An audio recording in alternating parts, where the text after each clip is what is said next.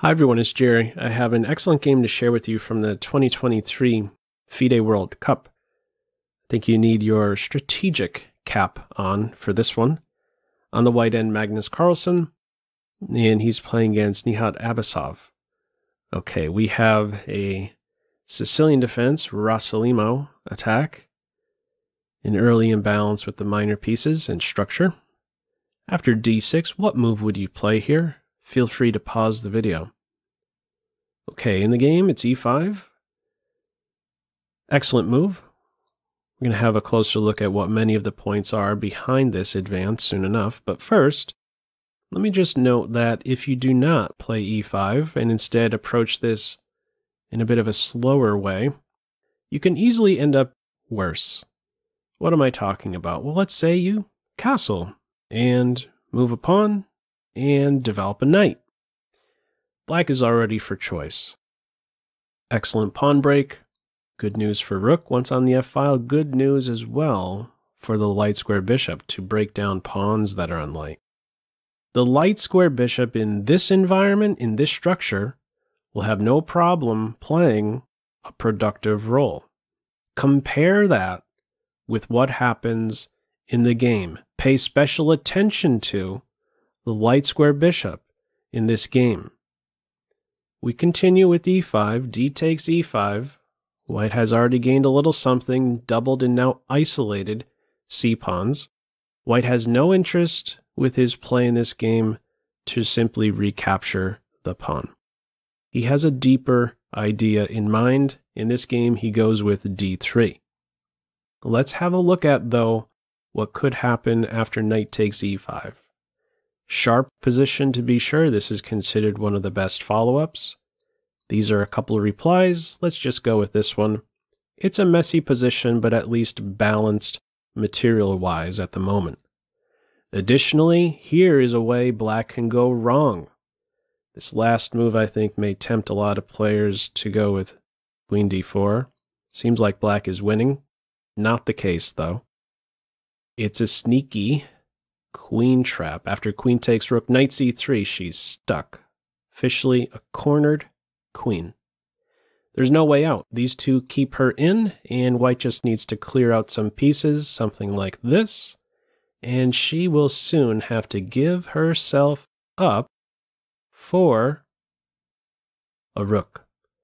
And in this imbalanced position, queen versus two rooks, white is for choice. Okay, Carlsen's play is with d3.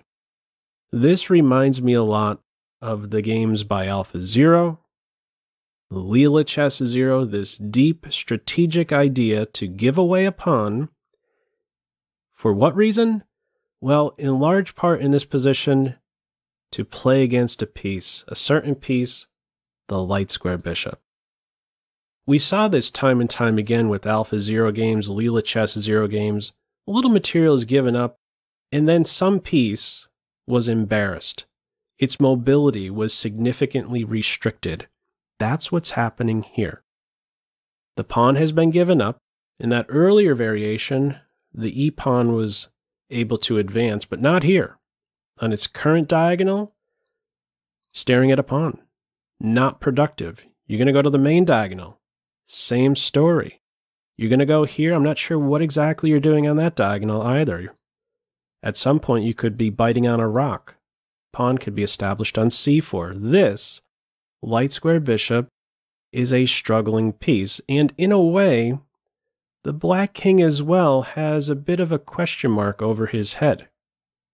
Is queenside castles now a comfortable safe haven for the king with these pawns doubled and isolated? Both flanks for the white king seem perfectly reasonable still in this position. Okay, let's see how play develops. In short, with d3, white is giving up a pawn, but saying your light square bishop is a clown now. We continue.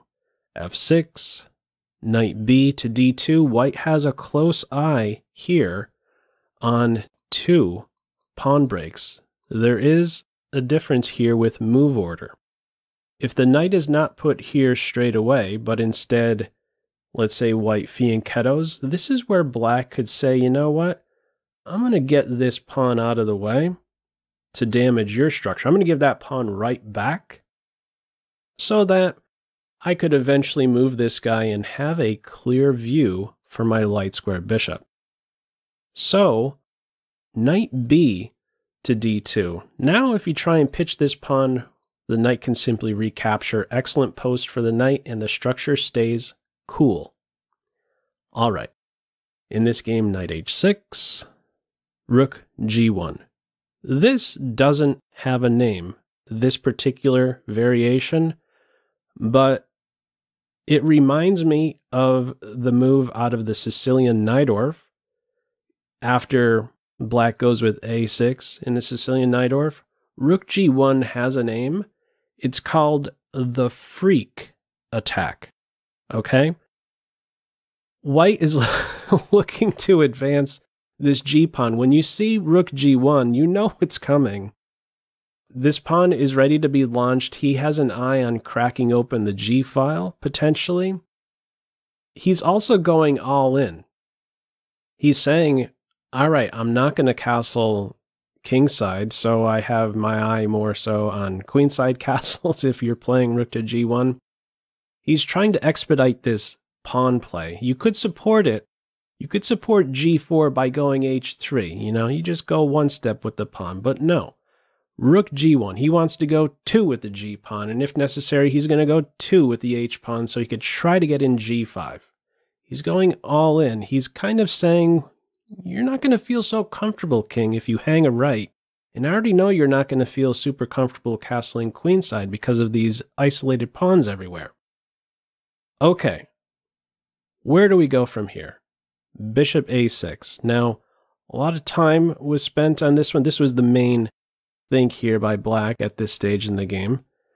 Uh, what is considered best instead of bishop to a6? The computer likes queen to a5, and I'd like to throw this position to you as a pop quiz. What move would you play here? Feel free to pause the video.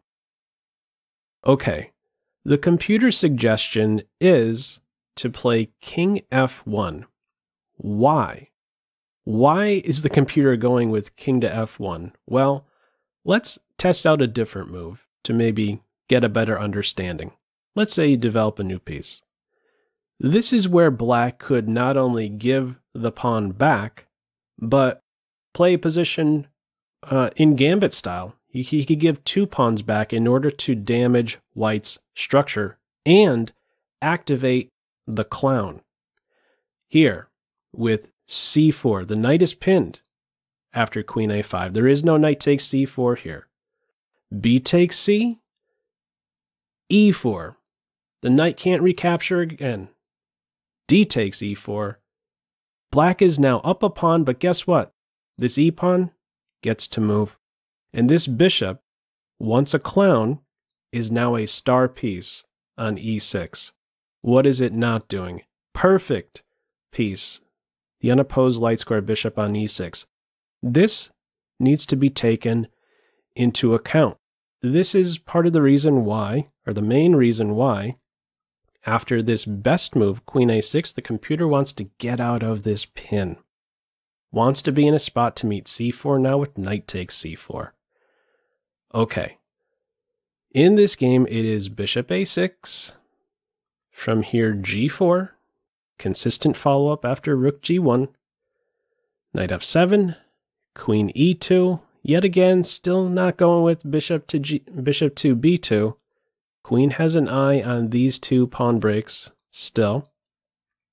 Bishop e7, bishop b2 now, queen a5, c4. So the computer's pointing out you could already rush in with g5, but now that this knight is pinned, his reply c4, he is just shutting down this light square bishop. He's not giving black an opportunity to play c4 in this position.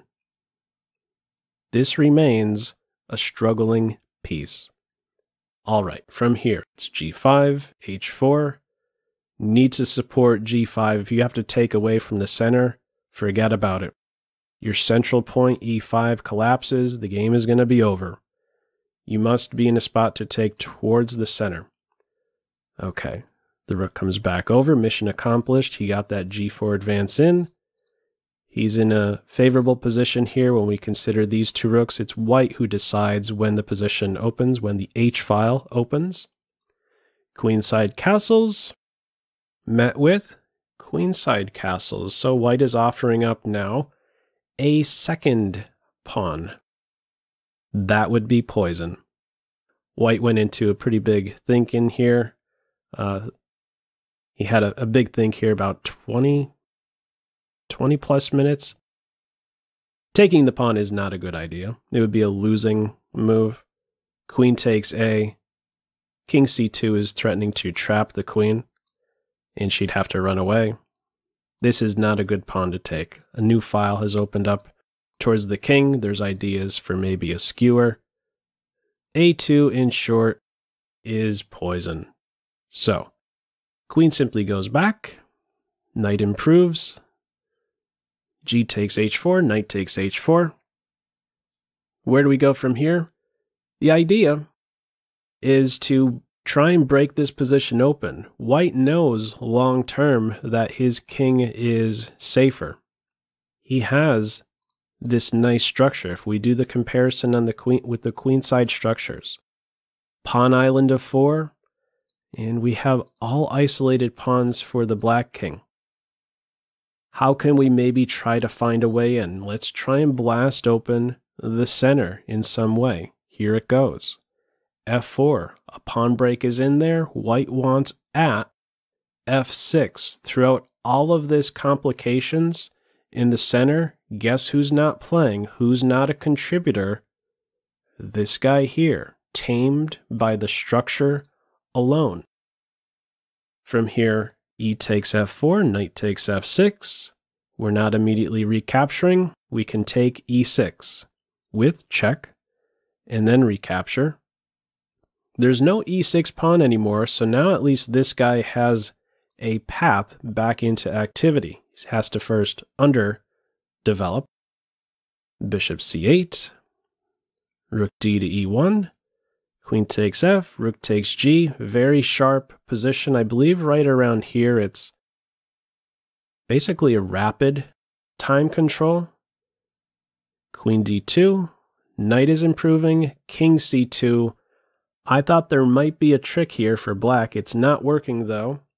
If you're thinking in this position about rook takes knight, preparing to meet rook takes rook with this massive fork, that would not be good to play rook takes knight in this position because of first bishop takes knight. And then you recapture and you're just up the exchange. Okay, so this is not working.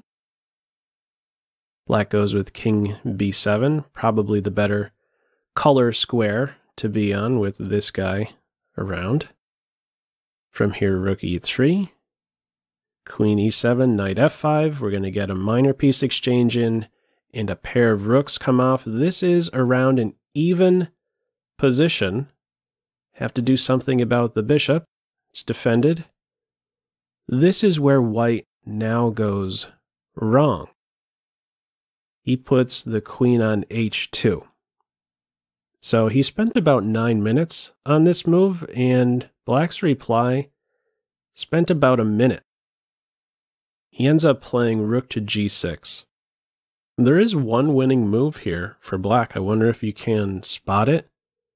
Feel free to pause the video.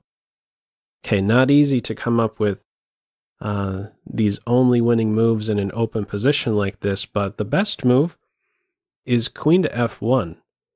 And now white is kind of all pinned up.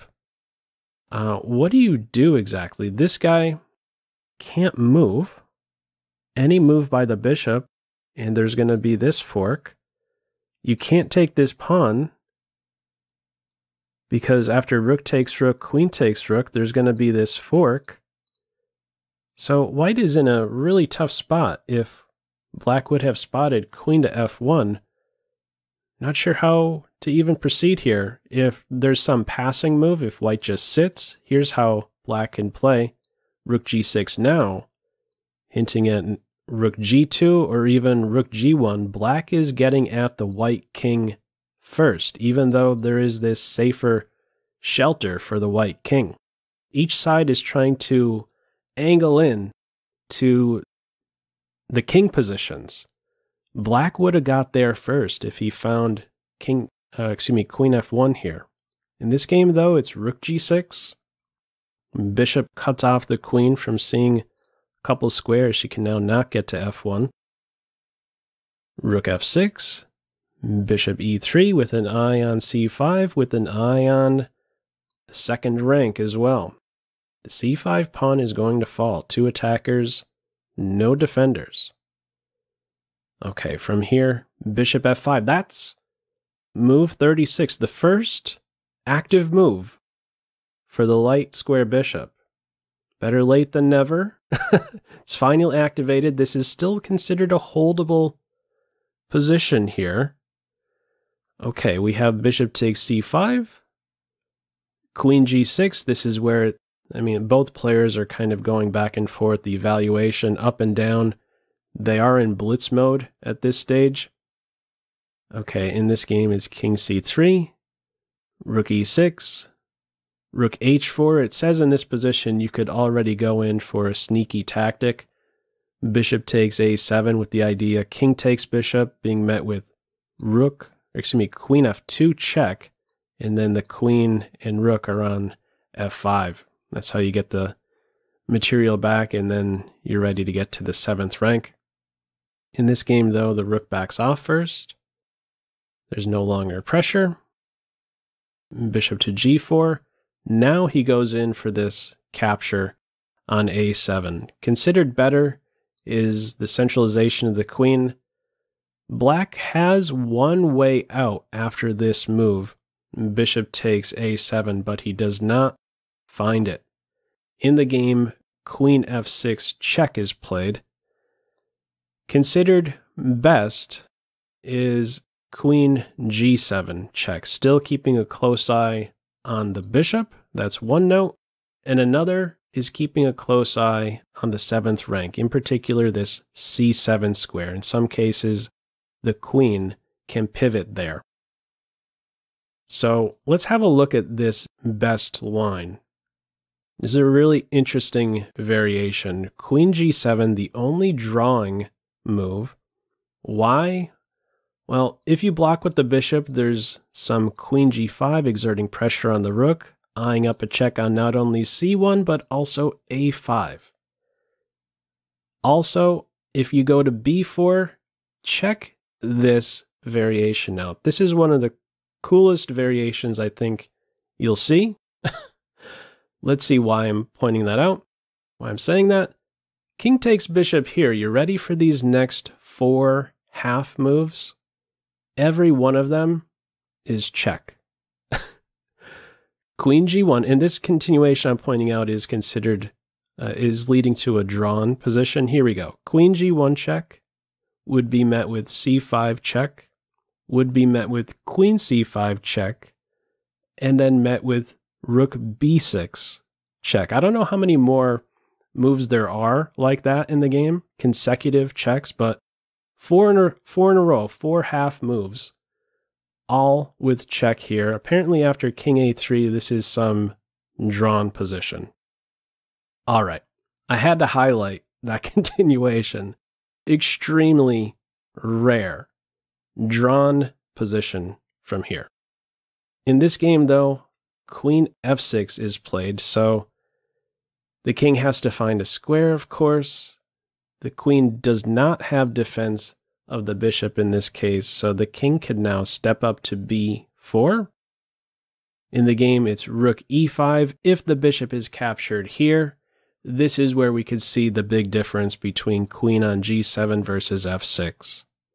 In this position, the queen could now make use of c7 with check, and then simply take the bishop. She's not defending the bishop as well. From here, well, in this position, white is winning. Next up, getting to the 8th rank or 7th rank. Okay. In this game, the rook goes to e5, This rook is now pinned. I should have noted this earlier. There is a serious threat after bishop takes a7, the threat being queen b8 check, king a6, and queen b6 mate. So we're simply with d4 attacking a pinned piece. From here, queen e7 check, only one more move, c5, black resigns. There are no good follow up checks. If the king takes the bishop, we take the rook with the pawn, not the queen, because she has this responsibility to defend the rook. And what else do you do? Any move by the rook, and it's a mate in two. For instance, rook e4, there's our mate in two in action. So at the end of the day, white in this position is simply soon going to be up material. It goes no further. Black resigns. Anyhow, feel free, as usual, to leave any feedback to this video in the comment section below. I hope you enjoyed it and maybe took a thing or two away. That's all for now. Take care.